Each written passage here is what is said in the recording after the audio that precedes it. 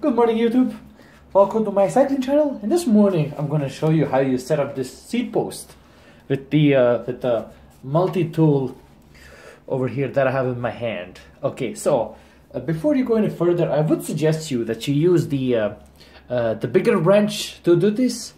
But the the reason why I'm to dem demonstrate this now with with this tool is because uh, I will I have a really tiny screw here. The bolt is very small so what I will do, I'm gonna use uh, this emergency kit, just just so that uh, you can see it can be done, you know, with the uh, with, with with with you know, just with this tiny tool. Okay, here we go. So, okay, so here we go.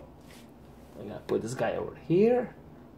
I I loosen this a bit just so it's a little easier. There we go. Uh, sometimes this one over here this ball behind spins. So you may have another another tool here holding it. Just just so you know. So that's that would be my suggestion. Yeah. Okay here we go. So when that thing is up and loose there you go. You're gonna just take this guy.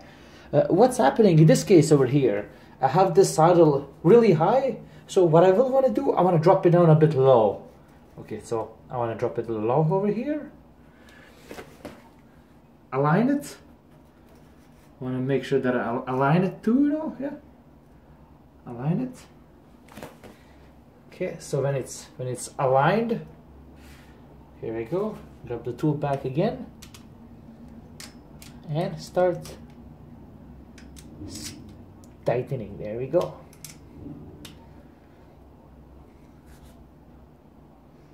Okay, just want to double check that, that, that it goes straight which which is nice and straight and here we go.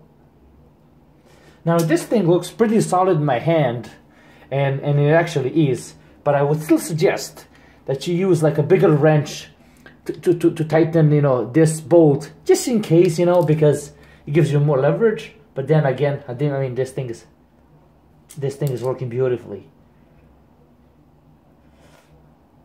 Okay now we're gonna just go so I'm gonna just tighten a bit more. Okay.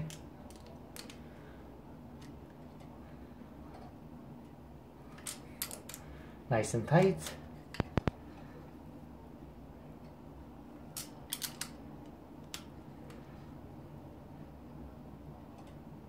Okay see?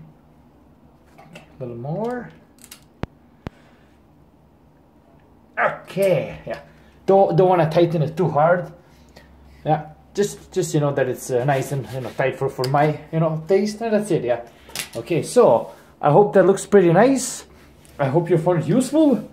Like, subscribe, and in the next video, I'm gonna show you how you uh, how you set up the, uh, the the the bike computer that I have here, and I think you're gonna find it pretty interesting. Okay, stay tuned. Bye bye.